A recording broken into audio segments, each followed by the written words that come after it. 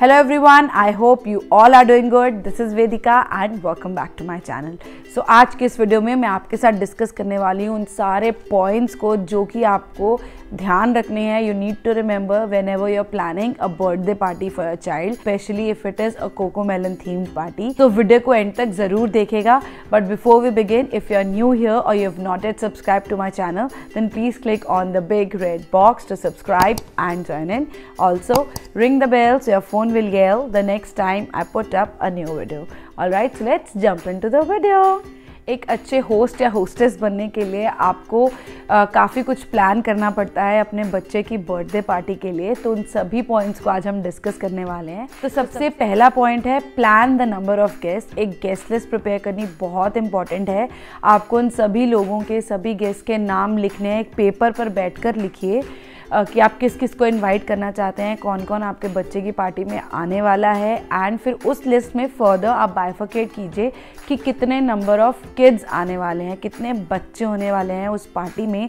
सो so as कि उन बच्चों के नंबर के अकॉर्डिंग आप उनकी एक्टिविटीज़ और उनके रिटर्न गिफ्ट प्लान कर सको जिसके बारे में अभी हम थोड़ी देर बाद और बात करने वाले हैं in detail now birthday party के लिए नेक्स्ट पॉइंट आता है पार्टी थीम थीम क्या होनी चाहिए इस बर्थडे पार्टी की? आप, आपके बच्चे के लाइक्स के अकॉर्डिंग कोई भी बर्थडे पार्टी की थीम सेटअप कर सकते हैं। जैसे कि लड़कियों के लिए यूनिकॉर्न थीम बहुत कॉमन है, बहुत पॉपुलर है।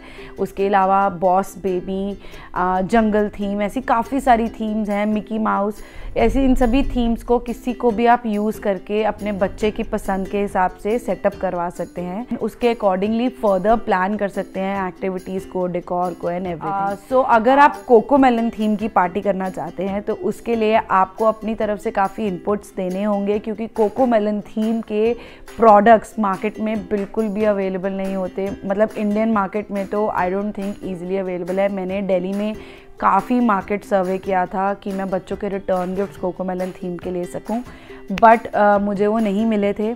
सो so, इसके लिए आपको खुद ढूंढना पड़ेगा। खुद थोड़ी मेहनत करनी पड़ेगी। आप पिंट्रस्ट पे या गूगल पे जाकर यू नो अलग अलग थीम्स देख सकते हैं फिर फाइनलाइज कर सकते हैं further now third very important point है plan the venue and food now आपको अपने बर्थडे पार्टी की theme and number of guest के अकॉर्डिंग एक वेन्यू प्लान करना बहुत इंपॉर्टेंट है। कहाँ पे आप अपने बच्चे की बर्थडे पार्टी करना चाहते हैं? अगर उस पार्टी में बड़े लोग भी आने वाले हैं तो उसके अकॉर्डिंग आपको वेन्यू चाहिए। अगर सिर्फ़ बच्चे आने वाले हैं तो आपको उसके अकॉर्डिंग वेन्यू चाहिए। एंड फिर अकॉर्डिंगली आप फ़ूड पे फाइनलाइज कर सकते हैं कि अगर आपकी पार्टी थोड़ी बड़े होने वाली है तो क्या उसमें वेज नॉन वेज दोनों ऑप्शंस होंगे या नहीं? अगर पार्टी छोटी होने वाली है तो क्या आप बच्चों को कहीं मैकडोनल्ड्स या के या ऐसी कहीं या फिर कोई और छोटा पार्टी हॉल हो वहाँ पर ले जाने वाले हैं? So, तो एक परफेक्ट वेन्यू का होना और एक परफेक्ट फ़ूड मेन्यू का होना बहुत ज़्यादा इंपॉर्टेंट है। किसी को और कुछ याद रहे ना रहे फ़ूड ज़रूर याद रहता है। एंड बच्चों के लिए हम ऑलवेज चाहते हैं कि अच्छा खाना ही सर्व हो।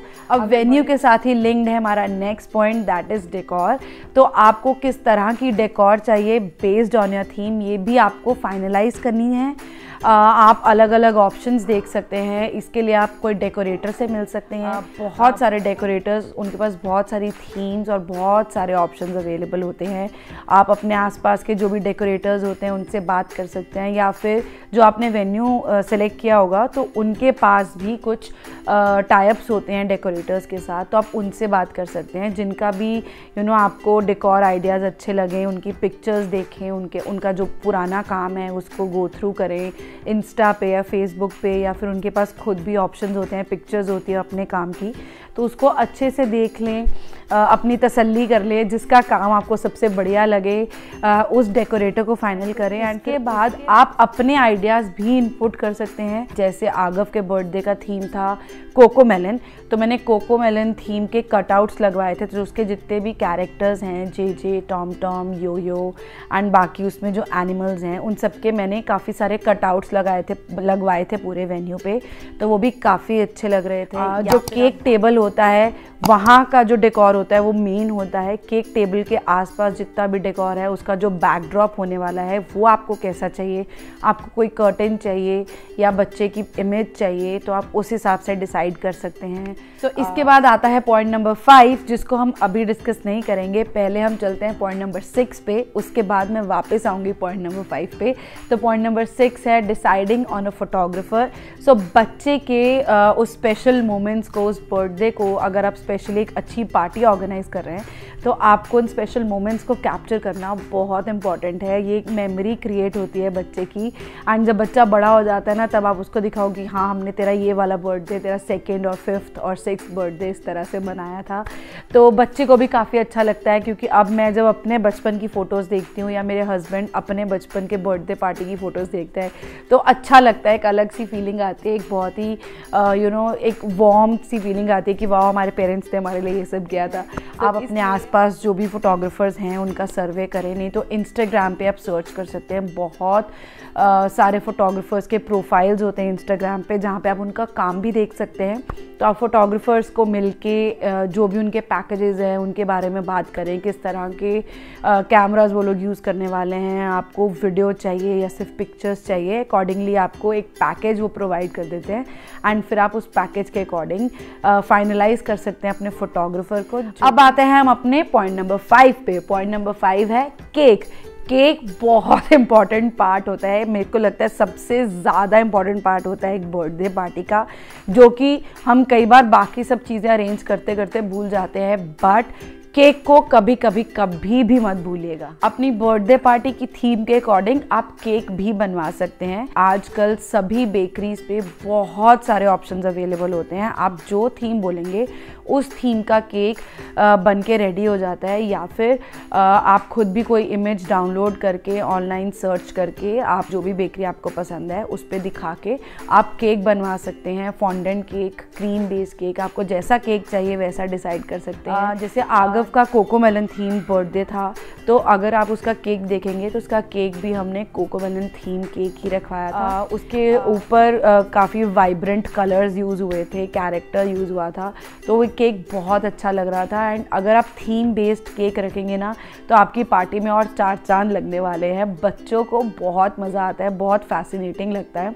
और मैंने उसके केक के साथ साथ आ, कुछ कपकेक्स भी बनवाए थे जो जो जो कि अगेन काफ़ी कलरफुल आइसिंग के साथ थे। तो वो भी बहुत सुंदर लग रहे थे। मैंने केक के चारों तरफ़ उनको रख दिया था। तो उससे और भी ज़्यादा सुंदर लग रहा था केक और केक टेबल बिल्कुल सज गया था। ना तो हमारा नेक्स्ट पॉइंट है रिटर्न गिफ्ट तो आपको रिटर्न गिफ्ट भी प्लान करने होते हैं according to your budget and according to the number of guest अब अगर आप चाहें तो सिर्फ़ छोटे बच्चों के लिए रिटर्न गिफ्ट कर सकते हैं या फिर आप बड़ों के लिए भी कर सकते हैं। हमने हाँ। आगव के बर्थडे पे बड़ों और बच्चों दोनों के लिए रिटर्न गिफ्ट प्लान किए थे सेटअप किए थे। तो बड़ों के लिए हमने एक बेकरी से स्पेशल केक्स थे जो कि बहुत ही डिलिशियस थे। वो ऑर्डर किए थे। तो वो ड्राई केक्स का पैक था। हर एक फैमिली को एक पैक पैक दिया था। एंड छोटे बच्चों के लिए मैंने गुडी बैग्स बनाए थे। अब अगेन जैसे मैंने आपको बताया कि हमारे यहाँ पे इंडियन मार्केट में कोको मेलन थीम्ड चीज़ें नहीं मिलती हैं। मार्केट में अवेलेबल नहीं होती हैं। मैंने दिल्ली की काफ़ी बड़ी बड़ी जो मार्केट्स हैं झंडे वालन की मार्केट है वहाँ जाके भी एक्सप्लोर किया था। बहुत सारी मैं स्टेशनरीज एंड बच्चों का सामान मिलता है जहाँ पे वैसी शॉप्स पे गई थी। पर कहीं पे भी कोको मेलन थीम कुछ भी स्पेसिफिक यू नो प्रोडक्ट नहीं मिलता है। अगर आप यूनिकॉर्न या डिज्नी प्रिंसेस या मिक्की ऐसे कोई भी पेपा पिग ऐसे कोई भी थीम अगर आप रखते हैं तो तो आपको बहुत सारे एंडलेस प्रोडक्ट्स मिलेंगे। बट मैंने क्योंकि मुझे नहीं मिला था तो मैंने रैंडम अलग अलग चीज़ों को उठा के फिर गुडी बैग में डाला था। तो आगव की गुडी बैग में काफ़ी सारी चीज़ें थी हमने पाँच छः चीज़ें डाली थी। तो आप अपने बजट के अकॉर्डिंग डिसाइड कर सकते हैं कि आप कितना कितने सारी चीज़ें डालना चाहते हैं क्या क्या चीज़ें डालना चाहते हैं। मैंने एक पेंसिल क्रेयॉन्स का सेट डाला था स्लाइम या क्ले का किट डाला था। फिर फिर कुछ पैक्स में हमने एक अलार्म क्लॉक डाली थी, एंड कुछ में हमने एक पिगी बैंक डाला था। पेपर सोप था बच्चों के लिए। चॉकलेट्स थी तो ऐसी छोटी छोटी चीज़ें थी जो हमने उस गुडी बैग में डाली थी। एंड uh, सभी जितने भी बच्चे उस पार्टी में आए थे हमने सबको हर एक बच्चे को वो रिटर्न गिफ्ट दिया था। तो इससे बच्चे काफ़ी इंटरेस्टेड होते हैं पार्टीज़ में आके और बहुत खुश हो जाते हैं। घर जाके जब बच्चे अपना वो पैक खोलते हैं चाहे उसमें छोटी सी भी चीज़ें हो ना पेंसिल इरेजर्स ऐसी चीज़ें भी अगर आप डालोगे बच्चों को उसमें भी बहुत खुशी मिलती है कि वाओ हमें रिटर्न में ये गिफ्ट मिला है. एंड तो फाइनली हम आते हैं हमारे लास्ट पॉइंट पे. दैट इज़ क्लोथ्स जी हाँ आपको उसके अपने बच्चे की बर्थडे पार्टी पे क्या पहनना है, ये तो इंपॉर्टेंट है ही है बट सबसे ज़्यादा इंपॉर्टेंट होता है कि जो बर्थडे बॉय या बर्थडे गर्ल होने वाली है, उसने क्या पहनना है। थीम के अकॉर्डिंग भी आप अपने बच्चे को कपड़े पहना सकते हैं। मिकी माउस या कोई ऐसी यूनिकॉर्न थीम या जंगल थीम रखते हैं तो उसके अकॉर्डिंगली आप अपने बच्चे को भी कपड़े पहना सकते हैं। एंड आप रिक्वेस्ट कर सकते हैं अपने गेस्ट को कि वो अपने बच्चों को भी उसी थीम के अकॉर्डिंग कपड़े पहन कर आएँ। अगर जंगल थीम हो तो आप अपने बच्चे को और जितने भी बच्चे आने वाले हैं पार्टी में उन सबको कह सकते हैं कि जंगल थीम से बेस्ड कोई भी कपड़े पहन कर आएँ जैसे कोई मंकी बन जाए कोई डियर बन जाए कोई लायन बन जाए। तो ऐसे अलग अलग एनिमल्स के कपड़े पहनकर बच्चे आ सकते हैं। बहुत इंटरेस्टिंग लगता है बहुत इन्जॉय करता है बच्चे ऐसे। बट हमने पहले उसको एक फॉर्मल सूट पहनाया था। जिसमें वेस्ट कोट था और नीचे शर्ट थी एंड देन ट्राउज़र थी जो कि काफ़ी अच्छा लग रहा था। ज़रूर ध्यान दें कि बच्चे को कोई भी ऐसा कपड़ा ना पहनाए जिससे कि उसको इरिटेशन हो या टाइट हो या बच्चे को चुभे, क्योंकि फिर बच्चा अपनी ही पार्टी में कंफर्टेबल नहीं रहेगा। एंड देन थोड़ी देर बाद हमने उसके कपड़े चेंज कर दिए थे, जब केक वेक कट हो गया था, सब हो गया था।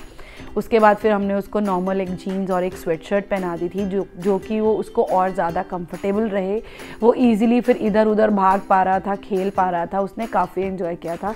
तो अपने बच्चे के लिए थीम बेस्ड कपड़े लें या फिर ऐसे कपड़े ज़रूर लें उसको बहुत ज़्यादा कंफर्टेबल हों ताकि बच्चा अपनी पार्टियाँ इन्जॉय करे। अगर कपड़े सही से कंफर्टेबल नहीं हो तो बच्चे बहुत चिड़चिड़ करते हैं क्रैंकी हो जाते हैं रोने लगते हैं। तो इसका भी आपको खास ख्याल रखना चाहिए।